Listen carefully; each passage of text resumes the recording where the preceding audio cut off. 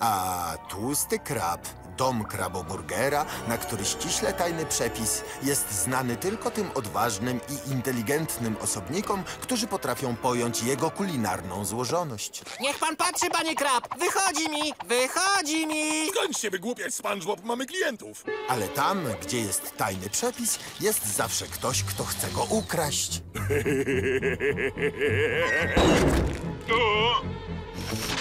A teraz ostatni drobiażdżek. Pięknie! Dzięki temu przebraniu zaraz zdobędę tajny przepis. O! Czy ty jesteś SpongeBob Kanciastoporty? Cóż, tak. To jestem ja. Gratuluję, właśnie wygrałeś okrągły milion dolarów. Musisz tylko odpowiedzieć na jedno pytanie. Jaki jest tajny przepis na kraboburgery? Tak. Tak. Tak. Przepis na kraboburgery jest wyłączną własnością tłustego kraba i można o nim rozmawiać wyłącznie z jego autorem, panem krabem. Kopiowanie przepisu jest prawnie zabronione. Wszelkie prawa autorskie są zastrzeżone.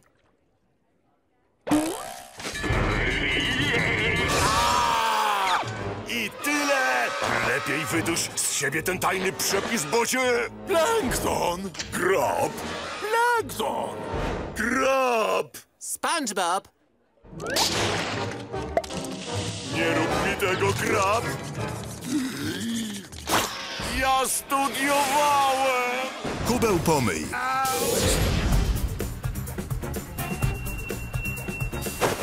O, łokieć złamany! W sprawie nożyce przeciwko Urząd Miasta sąd zasądza na korzyść nożyc. Tak! O, łokieć złamany! W sprawie nożyce przeciwko adwokatka sąd zasądza na korzyść nożyc. Tak! O, moje uszy złamane! W sprawie nożyce kontra... Ja? Zgarniałeś kasę udając urazy i pozywając innych? To okropne! O, moralista! Nie lubi zarabiać kasy na nieuczciwych pozwach! Kolego, musisz zapłacić za swoją pizzę. Może już czas przestać się lenić i znaleźć pracę. O, pan pouczający! Nazywa mnie leniem, bo pasuje do definicji lenia! Dlaczego nie chcesz znaleźć żadnej pracy? Dlatego, że nic sensownego nie umiesz robić? Ej! Ta, nożyce umie robić całe mnóstwo rzeczy. No, e, coś tam umie. Odczepcie się! Znajdę pracę, kiedy zechcę! Cóż, ale na razie nie możesz jeść z nami pizzy. Co? Więcej, ilekroć będziesz wchodził do mieszkania, Kamień i ja będziemy zajadać pizzę, aż cię zmotywujemy do jakiejś pracy. Cudnie! Yy, dobra, zobaczycie! Zdobędę kasę na pizzę raz, dwa! Au, moja noga zła... W sprawie nożyce przeciwko papierowi i jego niebezpiecznemu stolikowi sąd zasądza na korzyść papiera. Kurczę! Dobra, znajdę robotę. Anonimku, wypuść mnie! Co chcesz ze mną zrobić? Na skumbrię, interes się komuś rozkręcił. Pierwszy raz widzę tu tę fabrykę. O!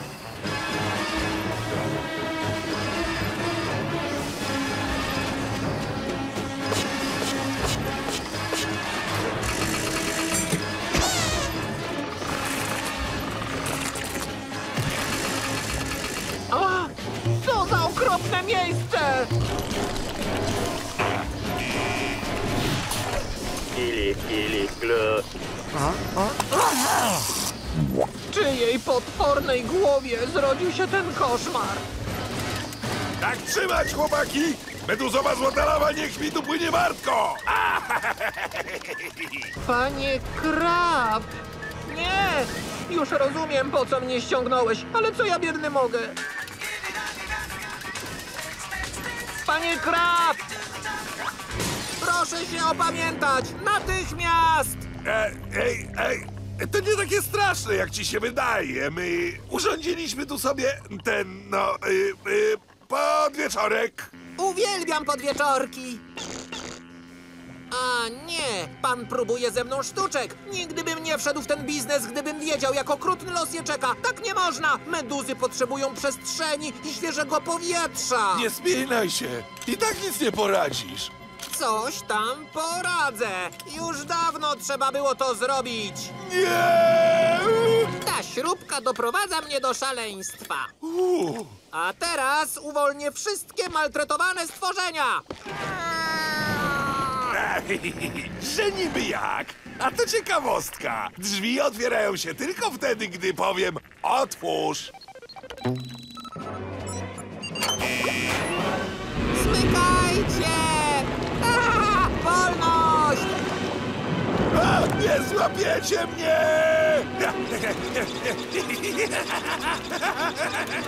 To jest przeklęta moda na fitness!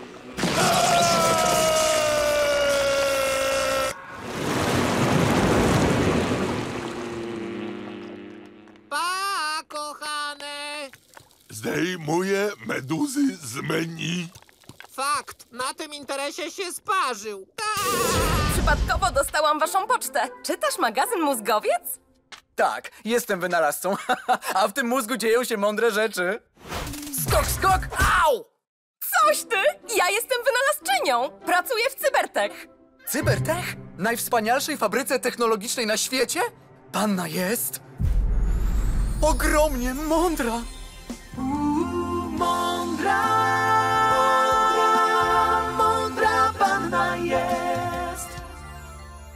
Kocham cię. Co? E, mówię, e, tak samo pracuję w takiej firmie. Co? Guzik, prawda! Pracujesz w zwykłym sklepie i sprzedajesz technologię!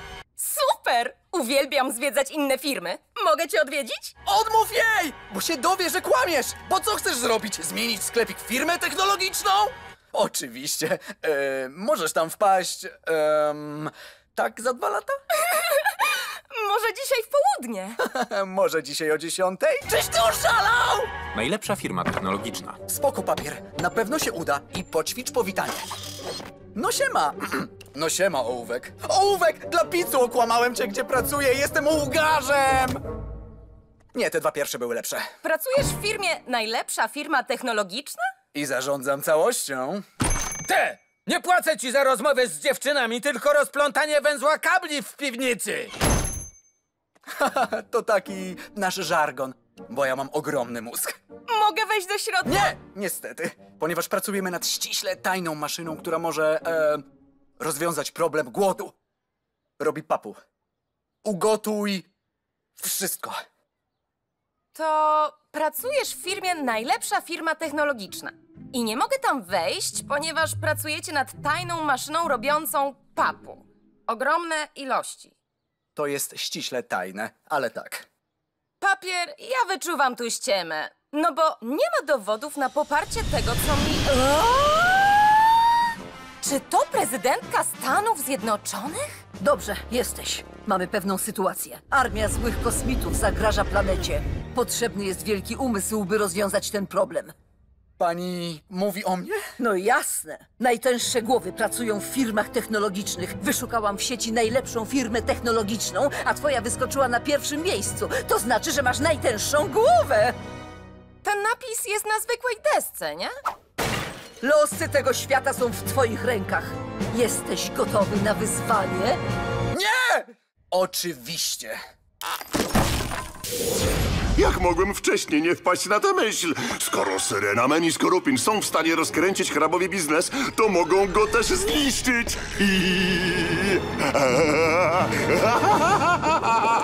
Dom spokojnej starości. Dzień, dzień! Witajcie, chłopcy! Co? Kto?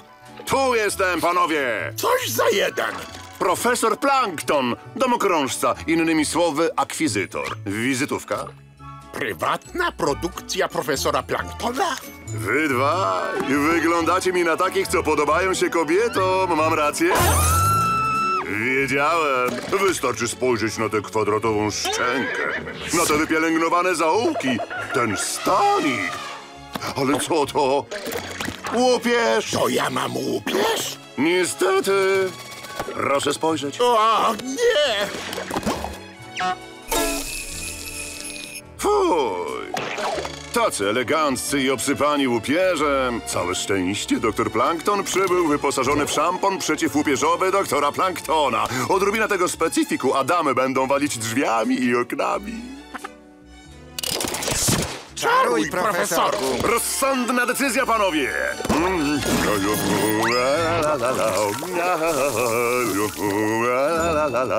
Ej, a co my tu mamy?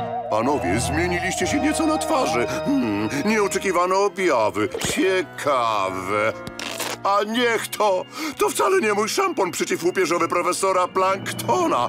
To szampon przeciwumysłowy profesora Planktona. Z odżywką. Przygotujemy was teraz do specjalnego zadania, panowie, w roli moich zombie. Starcie. Syrenamenie, jaka jest pańska opinia o kraboburgerach? O, to aż zbyt łatwe. Powiesz teraz wszystkim, że... Ja, Syrena Man, uważam, że kraboburgery są... Są co? Paskudne, nie znosisz kraboburgerów! Nie kosisz babogierów? Skorupinie! Nie kosimy! Neptunie, dopomóż! Powiedz im, że nie znosisz kraboburgerów! Nożyce, nie udawaj, że kamień znów ma urodziny. Nieładnie. Nasikanie pod prysznicem też kiedyś mówiono nieładnie. Bo nieładnie! Wyłudzanie tortu to nie jest wspólna decyzja. Żadnych wybryków. Co nie? Dobrze gada. Nie chcę dostać ochrzanu. Cho- cho- Chociaż torcik bym zjadł i chciałbym, żeby ktoś mi zaśpiewał Niech nam żyje. Ta nuta to hicior. Chłopcy, luzik. Zresztą nikt nigdy nie sprawdza, czy ktoś nie ściemnia. Przepraszam, kolega ma dzisiaj e, kolejne urodziny. Czy dostaniemy kawałek najlepszego tortu gratis? Pewnie. Hehe. Mogę zobaczyć dowodzik? Urodzinowa policja jest w drodze! Ukryjemy się w Kanadzie u mojego kumpla, brudnego Józka. Ale taksywka to zmyłka, to na serio potworny typ. Oraz musimy zmienić imiona. Nazwę się Maniak? Nie, to prawie jak kamień. Ra? O, to może kamień? Do licha! Po co te nerwy? Kelnerka poprosiła o dowodzik, a wy przewracacie stolik i uciekacie. Nikt was nie będzie ścigać. Nie ma czegoś takiego jak urodzinowa policja. Urodzinowa policja! Zamknę was w urodzinowej celi, a jest gorsza od tej zwyczajnej. Bo Tam się nie obchodzi urodzin. w zwyczajnej celi obchodzi się urodziny? Przyznaję się, mogłem protestować! Oto urodzinowe prawo. Przysługuje ci jedno życzenie. Uuu! Ale wyłącznie w urodziny. Przepraszam, urodzinowa policja? Czy to serio tak poważne wykroczenia? Dla ciebie kłamstwo w sprawie urodzin to taka niewinna sprawa? Moja mama miała cukiernię i dawała ciastka gratis wszystkim solenizantom. A tacy oszuści wykorzystywali jej dobro i traciła 6, czasem 7 dolarów miesięcznie! To raczej nie jest majątek. Dla niej był. Wy sobie posiedzicie do sądnego dnia. Powiedz, ile to lat.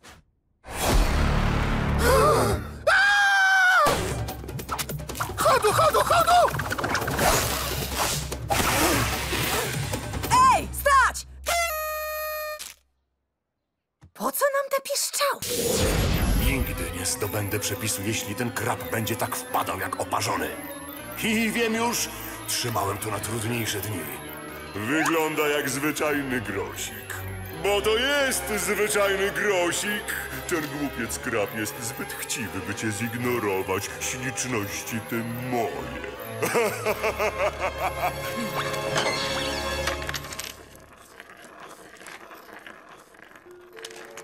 Ten dźwięk to brzmi jak słodkie brzęczenie forsy. Jej! Dokąd się toczysz, śliczniutki? Panie Krab! Wow! Stój! Proszę! Czekaj! Teraz już nic nie stanie między mną a tym tajnym przepisem. Ha, ha, ha. Ha, ha. Au. Szurum burum, lubię szur szur. E, cześć panie krab, szoruję sobie podłogę.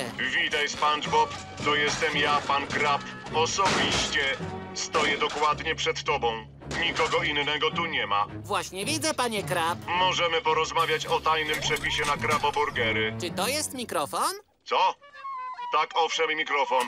Muszę wyczyścić tę koszulę. No dobrze, podaj mi tajny przepis.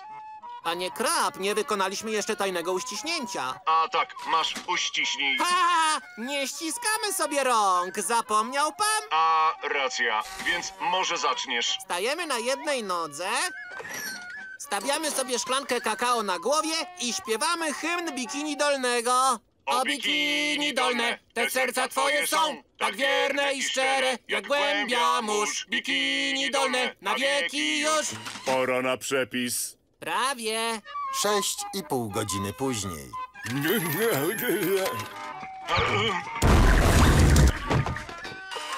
Mniam, mniam, to spaghetti jest wprost wyśmienite. Bek. Mięsko, mięsko, spaghetti zwija się, ravioli, ravioli, na oceanu dnie. Dobrze, a więc posłuchajmy tego przepisu. Sorry, to niemożliwe, panie krab. Zrobiliśmy wszystko, co kazałeś. Wypełniłem każdziutką regułę. Zjadłem nawet 105 czarnych lukrecjowych fasolek przez słomkę. Dlaczego nie chcesz mi zdradzić przepisu? To pańska reguła. Nigdy nie zdradzać przepisu. Kazał mi go pan trzymać w tej butli. Nareszcie, Plankton. Teraz powoli.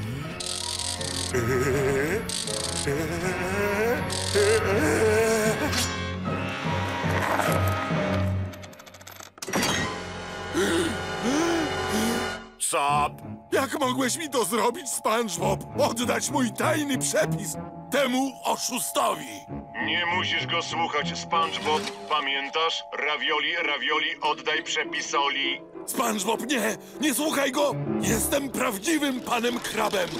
Nie słuchaj go, przecież gada jak robot. Wiesz, gdybym był robotem, a nie jestem, to jestem dobrze poskładany, nie jestem jakąś parową kupą złomu. Kogo nazywasz parową? Cisza! Nie ruszać się, dopóki nie sprawdzę, który z was jest prawdziwym panem krabem, a nic się wam nie stanie. Co, Tatarski? Tylko nie szalej z tym wężem! Teraz ja będę do was mówił. Myślę, że zadam wam obydwu kilka pytań. Pytań, na które tylko prawdziwy pan krab zna odpowiedź. A więc pytaj. Pierwsze pytanie.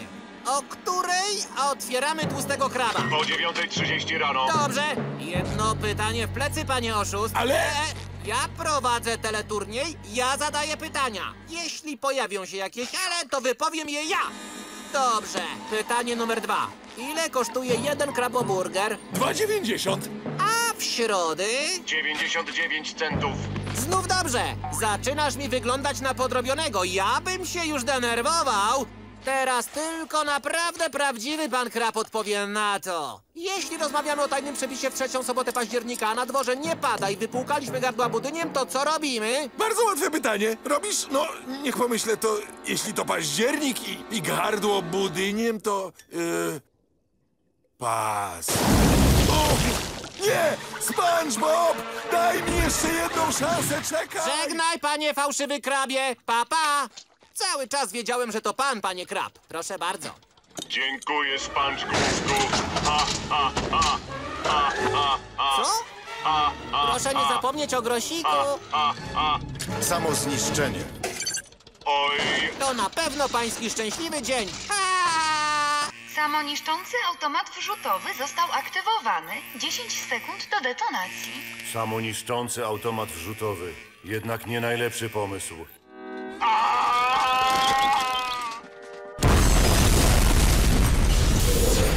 Chwila. Firma Złe Roboty? Kamień, ty chyba planujesz pracować dla złych robotów, które chcą zniszczyć ludzkość i rządzić światem. Skąd? Ekipa w firmie jest miła! No co ty opowiadasz? Firma Złe Roboty. Chcemy zniszczyć ludzkość i rządzić światem. Nożyce, musimy pędzić i sprawdzić, czy kamieniowi nic nie grozi. A jaki masz genialny plan? Chcesz zrobić eksplozję? No a ty? Ty chcesz... Nie jesteś nawet na tyle bystry, żeby mi się odgryźć! Dobrze, jaki masz plan? Zadanie kwalifikacyjne 472. Stworzyć kubek do kawy.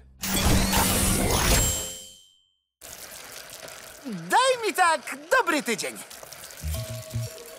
Więc tak, musimy ustalić, czy ta firma naprawdę jest zła. Szukaj subtelnych wskazówek. Co robiłeś w zeszły weekend? Złe robotowe rzeczy, a ty... Złe robotowe rzeczy. A ty, Bob? O, pojechałem z Klarą połazić po górach. O, koledzy z pracy mnie nie lubią. No, ta firma raczej nie jest dobra. Nożyce! Musimy znaleźć kamień i wyciągnąć go stąd! Hej, złe roboty! Zaczęliśmy złe spotkanie. Nasz plan na dzisiaj. Tak samo jak codziennie. Nowe sposoby, by być złym. Oraz ktoś mi podkrada jedzenie z lodówki. Znów to samo. Ja mam taki jeden pomysł. Może wystrzelimy pociski w słońce. Bardzo dobry. Czyste zło, byleby się udało. Musimy się stąd zwijać! Chwilka, może wystrzelimy pociski w samo południe? Słońce jest w zenicie. Kim jesteś? Geniuszem? Ten robot jest najmądrzejszy z nas wszystkich. Kapitalnie. To geniusz. Dobrze? Teraz wychodzimy. Haha, sekundeńkę, chwila. Ja mam dużo lepsze pomysły niż ten koleś tutaj. Świetnie, słuchamy. Um, e... Error, error, bip, bip. O, ja też mam tak czasem. Więc jeśli nikt nie ma mądrzejszych pomysłów niż robot nożyce, to w samo południe dokonamy zniszczenia jednej budy. A może zniszczyć całe miasto? Bardzo Świetny mądrze. pomysł. Albo cały region. Myśli Ciekawy szalone. pomysł. Albo cały świat! Cały świat? Cały świat? Dlatego zawsze powtarzam, nie ma głupich pomysłów. I kto jest mądrzejszy? Trzy, dwa, jeden. O chwila, pojąłem, że to złe.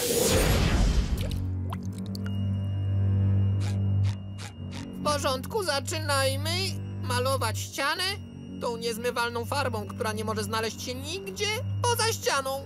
No to jedziemy. Godzinę później. Jeszcze chwilka, a będę przygotowany psychicznie na malowanie tej... E, Dwie godziny później. już zaraz będę malował. Trzy godziny później. Możesz zaczynać? Skończyły mi się tabliczki z czasem. Jasne, spoko. I już zaczynam.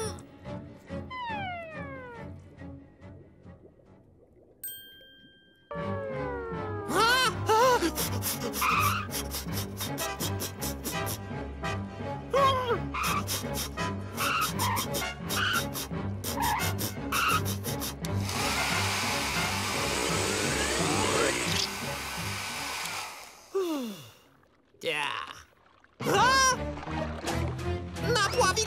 Co może być gorsze od olbrzymiej bańki z farby? Już mówię!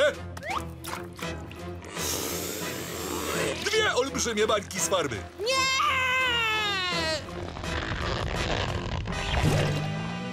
Patryk! Tak, SpongeBob?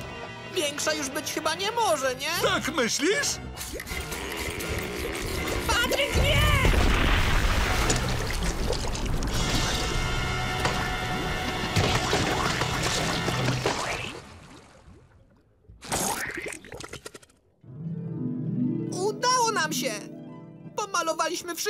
Ściany i ani kropla nie kapnęła na... A, na halibuta co to?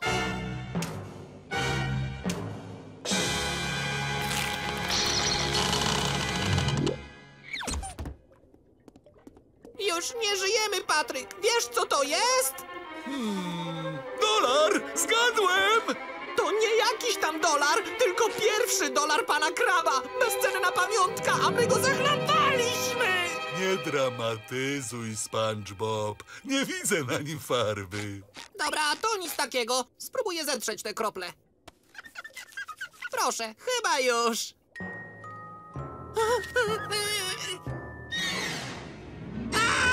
O, teraz widzę. Nie jest dobrze, Patryk, nie jest dobrze. Pan Krab zaraz wróci do domu i zobaczy, że zniszczyliśmy mu jego pamiątkę. SpongeBob, Patryk.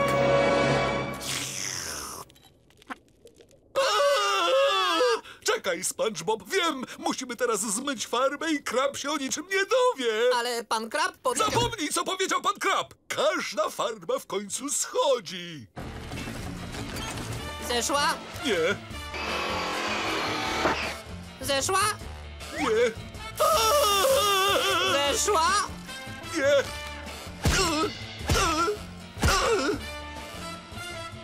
Nie schodzi? Czekaj, SpongeBob! Nie jesteśmy jaskiniowcami! Mamy nowoczesne technologie!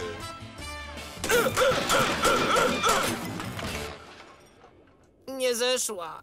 To wszystko przez pana kraba. Po co w ogóle powiesił na ścianie tego głupiego dolara? Przecież wygląda dokładnie tak samo jak każdy inny dolar. Po co go wieszać? Mógł powiesić sobie jakiegokolwiek dolara na ścianie i nikt by się nie poznał. Równie dobrze mógłbyś wyciągnąć mi z kieszeni portfel, wyciągnąć dolara i powiesić go na ścianie. Dobra, Patryk, wyciągaj portfel. Nie rozumiem, do czego zmierzasz. Ej, dolar! Nasze tyłki uratowane. Musimy tylko... Patryk! Nie! Stój, Patryk! Wsuń dolara. Nie! To zrobiłeś? Nie, trzymaj go! Łap szybko! O nie, nie, nie! Aj, aj, czemu go nie złapałeś? Teraz, teraz łap go, łap go, Patryk, trzymaj! Łap go szybko, trzymaj pan! O nie! Chcesz gryza? Spokojnie, mamy jeszcze trochę czasu. Bez paniki, SpongeBob. Panika to niedobry doradca. Jesteś silny, silny i wszystko pokonasz. Ja się wymiksowuję. Aaa! Szybko, Patryk, podnieś dolara z powrotem na ścianie. Chyba mam pomysł. Co jest? Skończyliśmy, panie Krab. Pięknie wyszło. Nawet nie musi pan sprawdzać, już sprawdziliśmy. Wyglądacie jakbyście ukrywali brzydko pachnący sekrecik. Ha! Żartuję! Zobaczymy jak wam poszło. Nieźle, chłopcy, nieźle! Całkiem równa warstwa, wysoki połysk, żadnych bombli. Tak, wszystko pięknie. Chyba będziemy już szli. Na maskonura, coście narobili! Przepraszam, panie Krab, nie chcieliśmy, naprawdę niechcący. Niechcący? Odkurzyliście wszystkie bibeloty. Ładnie, wielkie dzięki. Neptunie, strój zębem, a to co? Przepraszamy, Przepraszamy, panie Krab, panie Krab, to niechcący, Naprawdę to nie był chcieliśmy wypadek. tego. O, listwa przy podłodze też pewnie sama się pomalowała w żaglówki. To mi się podoba. Prawdziwy kunszt. O, wy lisy morskie! Zniszczyliście mój bank lalek! Wszystkie lalki w piramidzie były ułożone idealnie równo. Myśleliście, że nie zauważę. No nic, to żadnych większych strat. W porządku, chłopcy, możecie zmykać. Ała! A to dziwne. Nie pamiętam, żebym powiesił aż tyle obrazów w miejscu, gdzie wisiał mój pierwszy dolar. A tego obrazu to w ogóle nie miałem. Ani tego, ani tego, ani tego, ani tego, ani tego, ani tego! Czołem, panie Krab. SpongeBob, co tu robisz? No, wie pan, tak sobie wiszę. Brrr, Schodź na ziemię, chłopcze! Skończysz wreszcie z wygłupami. Nie, nie, nie, nie, panie Krab. To tylko złudzenie. Ej, wy dwaj, czy to wy zachlapaliście mojego dolara? Przepraszamy, naprawdę przepraszamy. I nabazgroliliście coś kredką? Myślałem, że wiesz, może to łyknie. No dobrze, chłopcy. Wiecie, co muszę teraz zrobić? Naszym tyłkom? Mogę użyć swojego ostatni raz?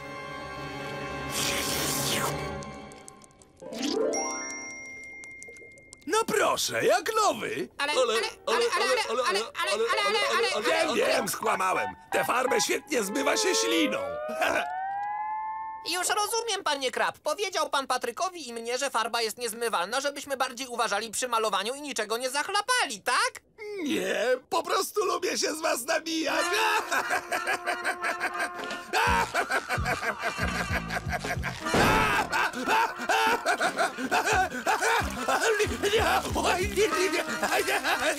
Stary już człowieka dowcip ma ostry.